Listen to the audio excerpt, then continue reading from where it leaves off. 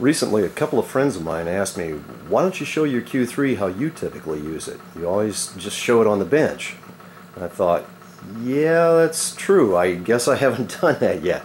So I'm, I'm going to show you how what my use is. And here's my little station. I've got it on two carts because it's kind of neat that way because they're, they're mobile. And of course, I'm not using the rotoverter now, but I do have plans for it uh, in the near future. But um, so I've got solar power coming in, and there's the MPPT, and and it uh, charges up these four batteries here. Uh, these two here are in series. These are in series, and then those are in parallel for 24 volts. It's 24 volt pure wave sine inverter, uh, sine wave inverter. So I've explained that uh, previously in other videos, and then and then the uh, output port from the MPPT runs the Q3 and these two again are in series and these two are in series and then those two are in parallel. So it's a 24 volt system and uh, they're deep cycle batteries 105 amp hour batteries so there's quite a bit of storage in in uh, eight of those. I'll show you.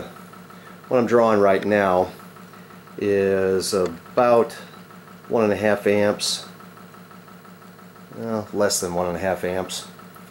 And that keeps this bank charged up at 13 volts each for each battery.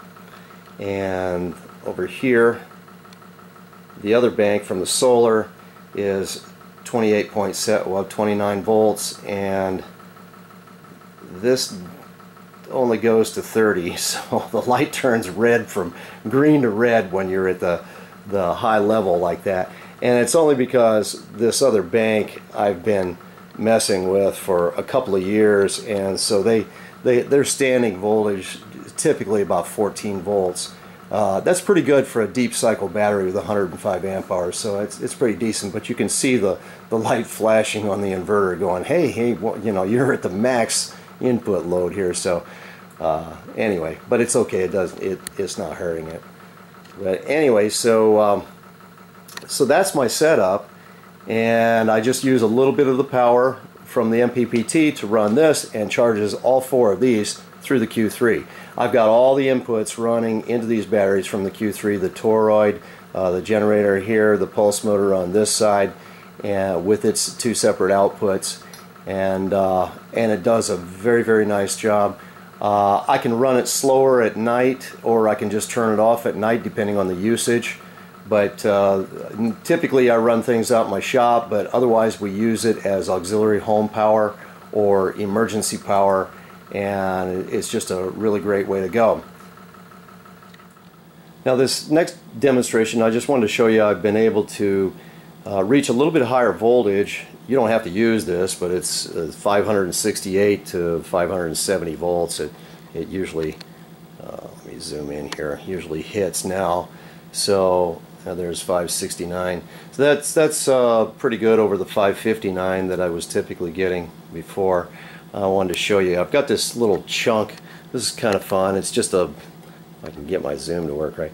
It's just a little chunk of, of heated up aluminum that was in a, a fire and it just kind of mixed up with some soil and and makes a nice little spark. I just wanted to show you the, the uh, spark that that 500 and some odd volts produces. Kind of cool.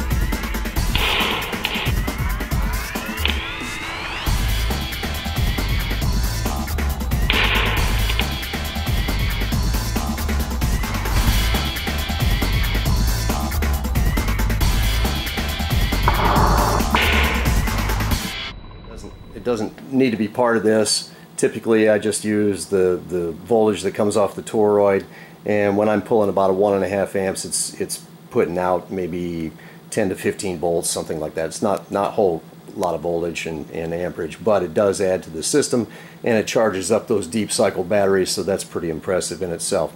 Anyway thought I'd show you that. Uh, that's it. That's it for now. That's the, that's the system.